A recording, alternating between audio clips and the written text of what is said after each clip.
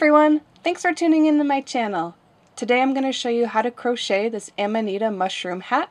We're going to make an adult size and you can use any medium weight yarn of your choice. You will need about 180 yards or 90 to 100 grams of a medium weight yarn. For your base color, I'm just using an acrylic in teal for today. You're also going to want an additional 20 to 25 grams of a medium weight white yarn for the spots, a 4 millimeter crochet hook, a tapestry needle is recommended but not required, and a pair of scissors. There is a written pattern available on my website at illjay.com, which includes details for four different size hats. I'll leave a link in the description box below for that. Otherwise, you can just follow along and let's get started. Okay, we will begin with a slip knot. Insert your hook. And just tighten that down a little bit, but not too much. And we will chain four. One, two, three, four. And now slip stitch into that first chain to make a loop. You can also do a magic circle here if you prefer. All right. Round one starts with a chain two, and that does not count as a stitch. And we will start by doing 12 double crochet into our center space. And this is US terminology, so that's a yarn over, insert through the center, pull the yarn through, yarn over, pull through two loops, yarn over again, pull through those last two loops. So that was one double crochet stitch. Go ahead and do 12 total into the center space.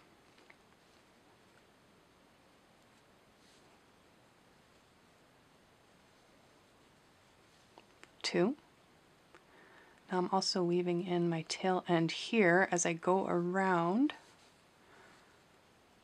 You don't have to do that, but it's helpful if you can. Three.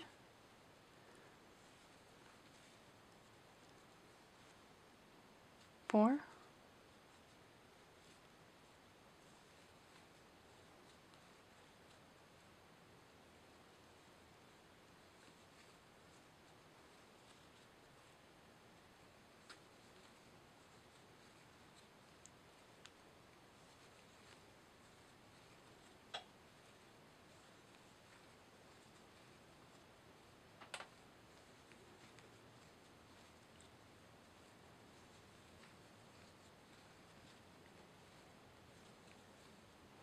And once you have 12 stitches, you should always count to be sure. 1, 2, 3, 4, 5, 6, 7, 8, 9, 10, 11, 12. And we will end round one with a slip stitch into that first double crochet. Make sure you're picking up not the chain because that doesn't count as a stitch, but our first stitch, pick up both of those loops and do a slip stitch to end round one. And you can pull your tail here now, and that will tighten it right up. Round two starts with a chain two. Now every round is going to start with a chain two and it never counts as a stitch. Round two begins with two double crochets in each stitch. And that means that first stitch right where our chain is coming out of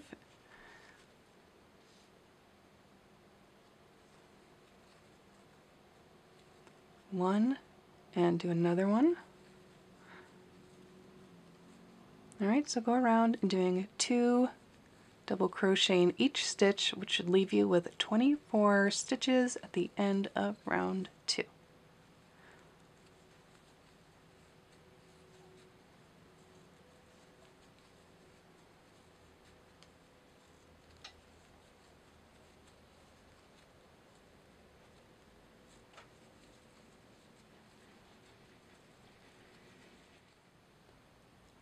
At the end of round two, you will do a slip stitch in the first double crochet to close off the round. For round three, we will chain two And now we're going to do two double crochet in that first stitch and then one double crochet in the one after that. And we're going to repeat that all the way around. So we're doing two in that first stitch. And then one in the stitch after that. And just repeat that all the way around.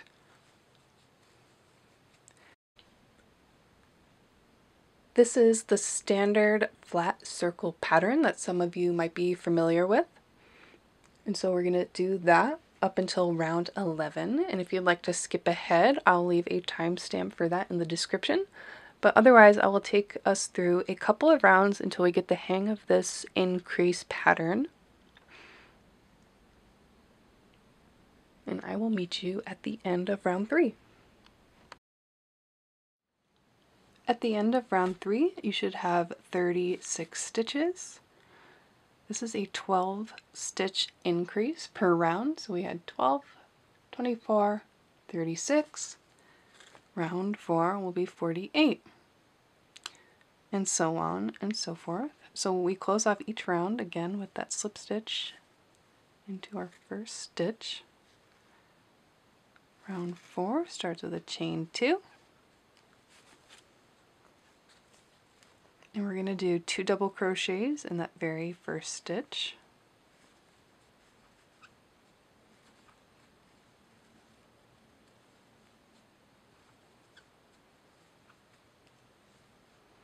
And now do one double crochet in the next two stitches.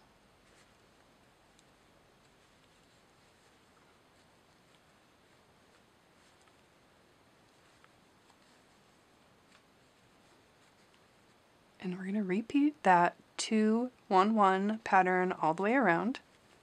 So do 2 in the next stitch.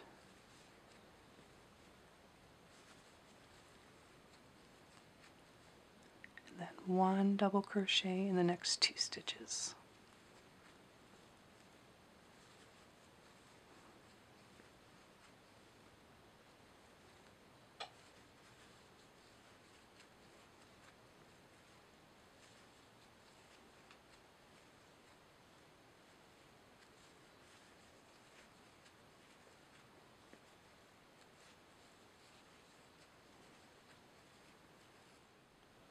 Here's the end of round four. Should have 48 stitches around. And close off the round with the slip stitch. Now we'll start round five, chain two. We will do two double crochets right in that very first stitch.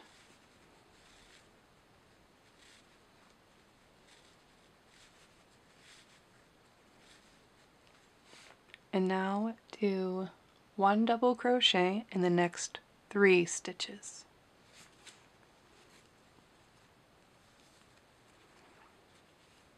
One,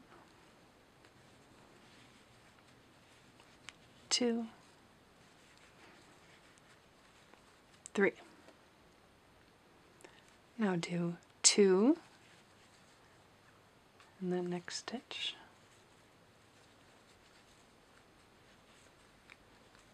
And one in the next three. And repeat that all the way around. And you should have 60 stitches at the end of round five.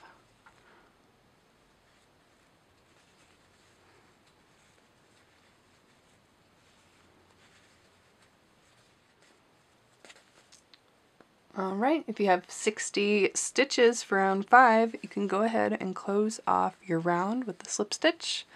And we'll start round 6 with a chain 2 and 2 double crochet into that very first stitch.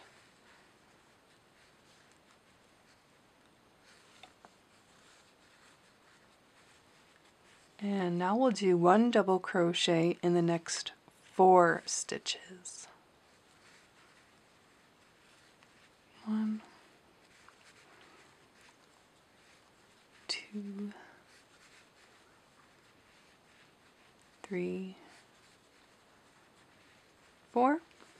All right, we're going to repeat that all the way around. So do two in the next one.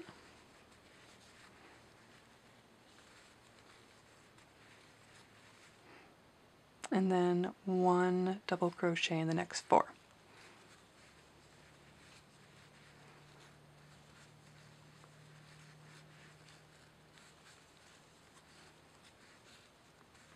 So if you're starting to get a hang of this pattern, you can probably guess the next round will be two double crochet and then one in the next five. Round after that will be two double crochet, one in the next six, and so on with this 12 stitch increase per round.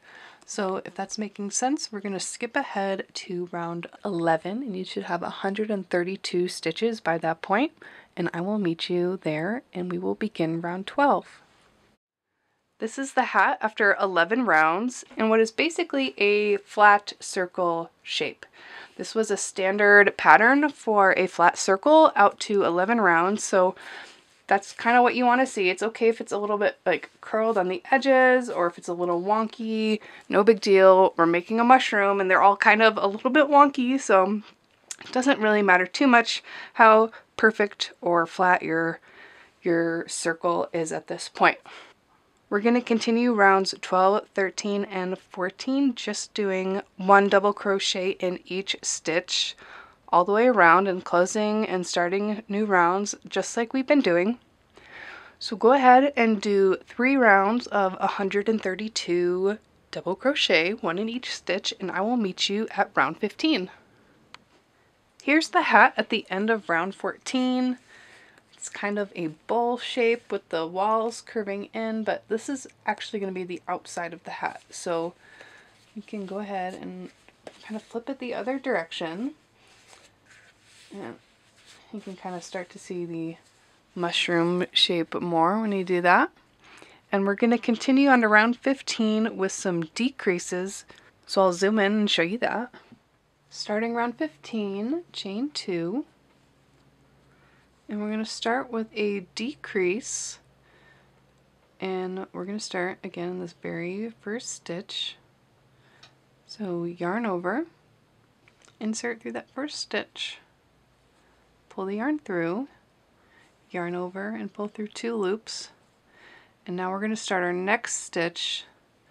So yarn over and go through the second stitch, pull the yarn through, yarn over, pull through two loops, and now we, have two incomplete stitches on our hook, yarn over, pull through those last three loops,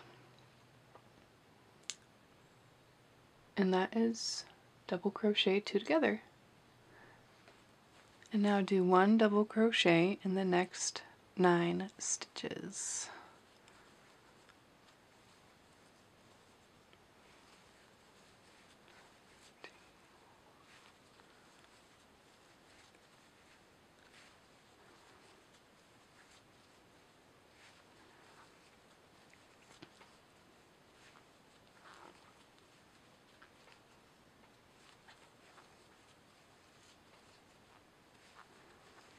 That's eight and nine. And now we're going to repeat that. So this is just like our increase pattern, except where we would do the increases, now we're doing decreases.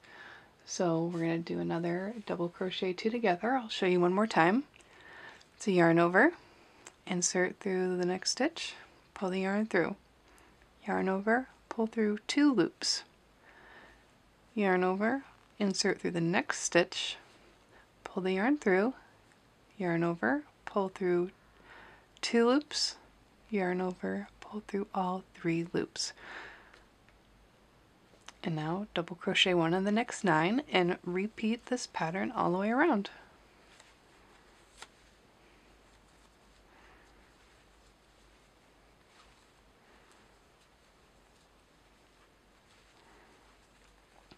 So at the end of round 15, you should be back down to 120 stitches.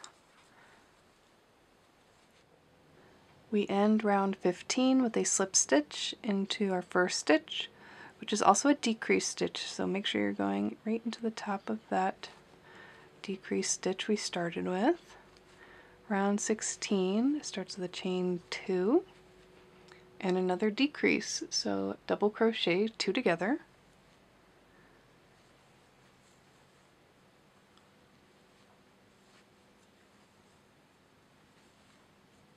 And now double crochet one in the next eight stitches.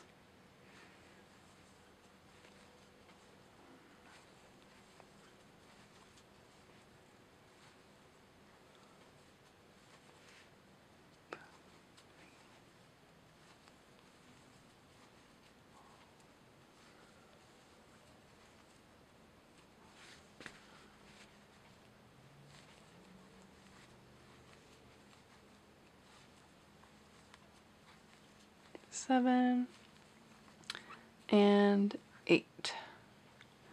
And you will just repeat that all the way around. So we're going to do another decrease and then double crochet one in the next eight. So at the end of round 16, you should have 108 stitches.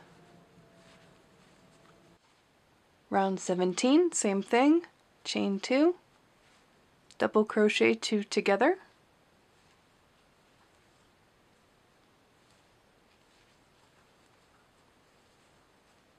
and then double crochet one in the next seven stitches.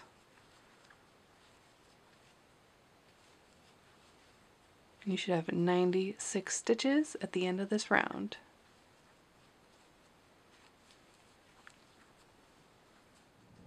Round 18, chain two, double crochet two together just like we've been doing for these decrease rounds.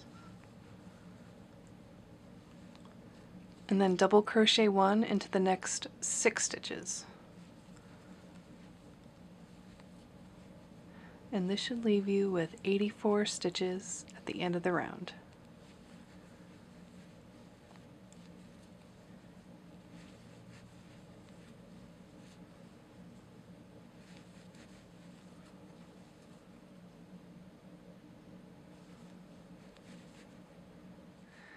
Here's the hat at the end of round 18. Now for rounds 19 and 20, we can adjust a little bit for sizing here. Try the hat on.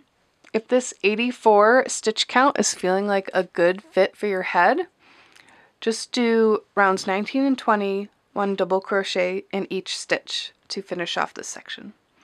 Now if this is feeling like it's a little too loose and you want a tighter fitted hat, do one more round of decreases, so decrease down to 72 stitches, and then round 20, just do one double crochet in each stitch. So I'm going to keep this 84 stitch count and just do two more rounds, one in each stitch, and I'll show you how my hat is fitting at the end of round 20. Here's how the hat fits. It's actually a bit larger than I thought. I made the same size in a different brand yarn and it came out a bit smaller, this one in purple. Now this can happen with the slightest variation in yarn weight or tension, so keep that in mind when making wearables. Okay, we just need to add on some spots to the top of our hat, and this part is really quite easy, you guys. So just like how we started this pattern with the 12 double crochet, that's all this is here. So just basically start from the beginning to and do one round to make the little spots and do two rounds to make bigger spots or three rounds if you want even bigger spots but it's the same exact pattern. I will show you one small difference though is when you are closing off that final round whether it's one round or your second round or three rounds just do a slip stitch just into the back loop there. Like that. And leave a long enough tail for us to sew around this circle. So I'm leaving like about six inches. And then just pull that tail all the way through just like that and then you just sew this on and this is where your tapestry needle is going to come in really handy If you don't have one, you can still use, use your crochet hook. It's just a little bit slower, um, but it's definitely possible. So if you have a tapestry needle, grab that and we will sew a couple spots on. And you can make as many spots as you want and put them wherever you want. This part is kind of fun and you can be a little creative with how you do this part. Okay, so I'm just to move those out of the way. Now, find your first tail in there, and we're to pull that through the work actually with our hook. So from the inside, come up through the work and pull that, that first tail down.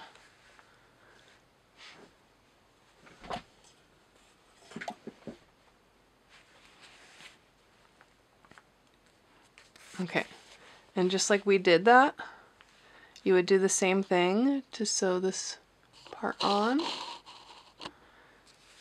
And from the inside of the work, come up through the stitch and pull the yarn down through that first stitch.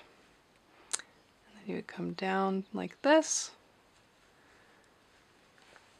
grab the yarn from the other side and pull it back up. It's a little hard. You can use um, stitch markers if that helps hold the spot in place while you go around. Otherwise, this is where you want to just use your tapestry needle. It's a little bit easier to just go down through the stitch and back up. And I'm going like between the front two loops and that just leaves the cleanest edge from my experience.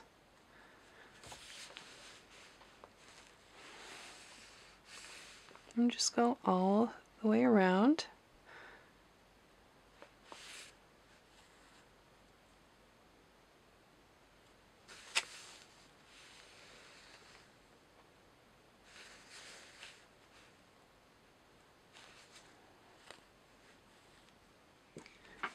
And once you've gone all the way around, you can continue to weave in your end a bit more.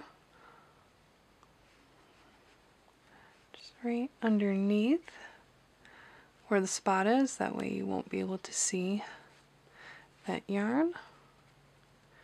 I'm going to kind of bring my yarn back to the center here where my other tail is so I can just tie those two tails together.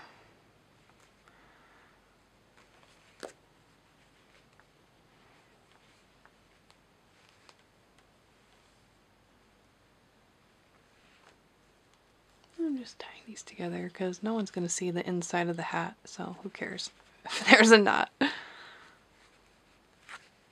Alright, and then you can just trim that and sew on as many spots as you like in any place and have some fun with this pattern you guys let me know how your mushroom hats turn out and don't forget to hit subscribe and like this video and stay up to date on all my newest patterns and here's my hat all finished I kind of like how it turned out extra slouchy no two hats will ever come out exactly the same. Share yours with me on Instagram at underscore illjay underscore. Thanks for watching!